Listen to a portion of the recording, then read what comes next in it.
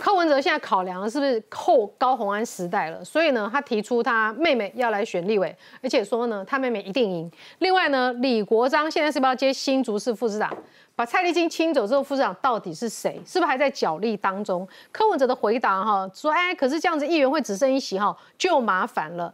那李国章是不是在争取这个副市长？因为这个副市长很可能就代理市长了，对不对？所以呢，这个李正浩才说，李国章啊。是为了争取副市长的职务拼命表忠。对，刚才创下说柯文哲的话哈，一个礼拜就改变一天。昨天他还帮高安，人家问他说男友肝重肝症严不严重？他说还算合理哈，还算合理。今天早上一堆记者打电话给我说，哎，民众党是不是有一个廉政准则？我也上，我好像没有哎，因为我们听了一个多月了嘛哦，如果有廉政因为前几天就有说到说黄阳明翻骗了整个民进党、民众党，没有看到廉政公约，没错，他今天突然来了个一个廉政准则，他纪律评议裁决条例第十七条，你们现在可以上网查，可以查到纪律评议裁决条例十七条里面写说，如果违反廉政行为，好，我们要予以啊停权或开除，但是呢，廉政行为上面挂号写一个逮捕。啊，所以逮捕任务还没有定嘛，所以所有人都以为说啊，算了，新政党哈，我们就再体谅他一下。哎，怎么突然今天突然有一个廉政准则？体谅四年了，体谅四年就有有一个廉政准则，你们上网查不到的，这是内部人给我的。结果开放一个主张开放透明的政党，嗯，你的廉政准则没有上网，你的纪律评议裁决条例里面第十七条还写逮捕，结果在二零二零年的九月七号就定好了。九月七号，今天引的第二条，啊，就是所谓的贪污治罪条例，裁决的就叫做停权三年。好，我要讲的是说，为什么明明就有的，你不是主张说 SOP 吗？高红安案从八月十五号就已经知道被起诉了，按照你们的廉政准则，本来就可以直接停权的，为什么你柯文哲这一个月，你为什么不停权？为什么要等到今天才要停权？而且昨天还要帮高安讲话嘛？因为他在处理整个新竹市政治权力的布局啦。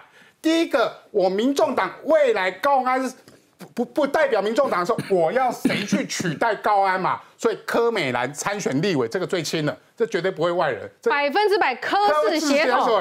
柯氏王才在新竹要重现呐，所以柯美兰参选立委，所以为了柯美兰参选立委，还去拆了柯妈妈的违建。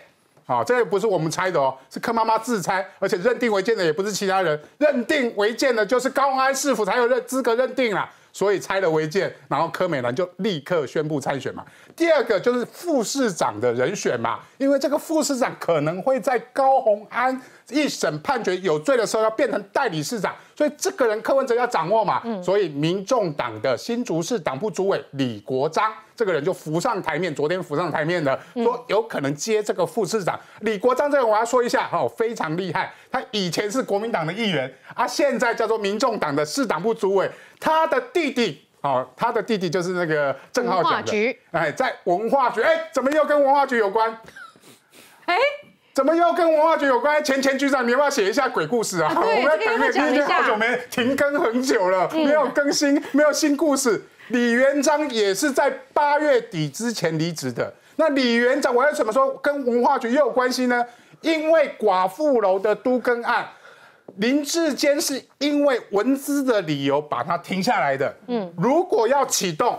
一定要文化局的同意，因为林志坚下一个弹书叫做文资团体要着急看怎么解决这个问题嘛。以前我当文化处长的时候就很清楚，这个东西虽然拆掉了，如果你之前有做文资调查，你可以按照原图重新回建，你可以要求都更的厂商去做这相关的事情。嗯，那至少你文化局一定要列管列案，嗯你文化局列管列案，这个如果没有解决的话，你不能去启动这个都更嘛。晚间十点，敬请锁定，朕知道了。